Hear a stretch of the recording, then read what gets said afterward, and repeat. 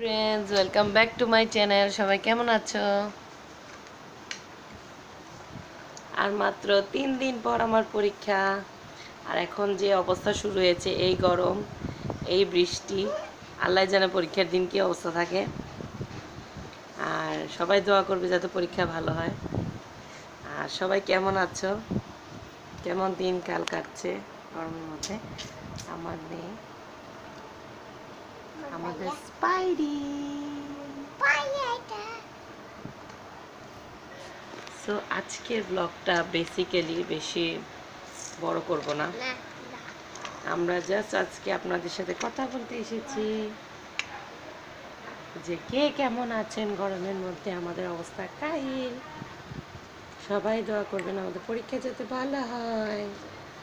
কারণ আমার সাবজেক্ট হচ্ছে ইকোনমিক্স আর ইকোনমিক্স অনেক কঠিন, অনেক অনেক অনেক কঠিন। আমি এই পড়ছি, এই ভুলে যাচ্ছি, এই পড়ছি, এই ভুলে যাচ্ছি। জানি না কি হয়, পরীক্ষায় গেলে তো সবার পরীক্ষার অনুভূতিগুলো বলেন। আমার পরীক্ষার এক্সপিরিয়েন্স হচ্ছে, আমি পরীক্ষার প্রত্যেক এক্সামের আগে রাতে স্বপ্নে দেখি যে আমি এক্সাম হলে লেট করে পৌঁছেছি। আর আমার এক্সাম টাইম শেষ, আমি আধা ঘণ্টা আছে, এটা হচ্ছে কমন স্বপ্ন।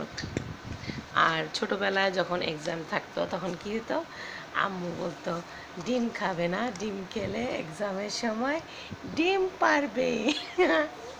এগুলো খুব ফানি কিছু ঘটনা মনে আছে। আরও এক্সাম নিয়ে আরও কিছু মিথ আছে। মিথ বাস্টার্স যে ডিম খাওয়া যাবে না। সামথিং লাইক দ্যাট যে ডিম খেলে এক্সামে ডিম পারতে হবে, এরকম অদ্ভুত অদ্ভুত কথা। আসলে এগুলো কিছুই ভিত্তি নেই। আর সবচেয়ে মজার ব্যাপার হচ্ছে, প্রত্যেক এক্সামের আগে আমি স্বপ্নে দেখি। আমি এক্সাম হলে দেরি করে পৌঁছেছি।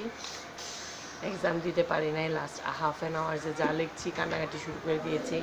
আর টিচার আমার খাতা নিয়ে গেলেন। এটা হচ্ছে কমন স্বপ্ন আমার। আল্লাহ জানে কবে এই স্বপ্নটা আমার যাবে। প্লাস আরেকটা জিনিস হচ্ছে এক্সামের আগের রাতে আমি অবশ্যই হ্যান্ডরাইটিং প্র্যাকটিস করি আদারওয়াইজ আমি অনেক দিন না লিখাতে যা হয় যে আমার হ্যান্ডরাইটিং স্লো হয়ে যায়। তো আধা ঘণ্টা আমার লাগে এই জিনিসটা ওভারকাম করতে, আর যদি আমি হ্যান্ডরাইটিং প্র্যাকটিস না করি সেজন্য। সো এখন এই কাজটা করি যে এক্সামের একদিন আগে মিনিমাম হাফ অ্যান আওয়ার বা টোয়েন্টি মিনিট বা ফিফটি মিনিট যতটুকু সময় পাই আমি হ্যান্ডরাইটিংটা প্র্যাকটিস করি। প্র্যাকটিস করার পর হাতটা একটু মানে একদম ইয়ে হয়ে যায়, নয়তো হাতটা এত শক্ত লাগে এক্সাম টাইমে আমি জানি না কেন। আশা করি এবারের পরীক্ষাও ভালো হবে। আর ফার্স্ট এক্সাম হচ্ছে উনত্রিশ তারিখে, আর এরপর হচ্ছে তিন তারিখ, এভাবে gap gap gap but first এক্সামের ইয়াটা এত ভয়ানক থাকে, অনুভূতি খুবই ভয়ানক। আমার তো রীতিমতো ভয় লাগে, কারণ এক্সাম হল আমি চিনি না। ফার্স্ট টাইম ওখানে আমি পরীক্ষা দিচ্ছি। তারপর হচ্ছে যাওয়া আসাটা মিনিমাম তিন ঘণ্টা আগে বের হতে হবে। আর পরীক্ষার টাইমিংটাও খুব অড টাইমে দেড়টা থেকে শুরু হবে সাড়ে চারটা পর্যন্ত। সো আর মেন যে জিনিসটা আমার ইকোনমিক্সের এই পার্টটা সব একরকম লাগছে। আল্লাহ জানে পরীক্ষার খাতায় আমি কী লিখব। তো ভালো করব, আশা করি সবাই দোয়া করবেন। আর আজকের ব্লগটা আর বেশি বড় করব না। এখানেই শেষ করি, সবাই আমার জন্য দোয়া করবেন।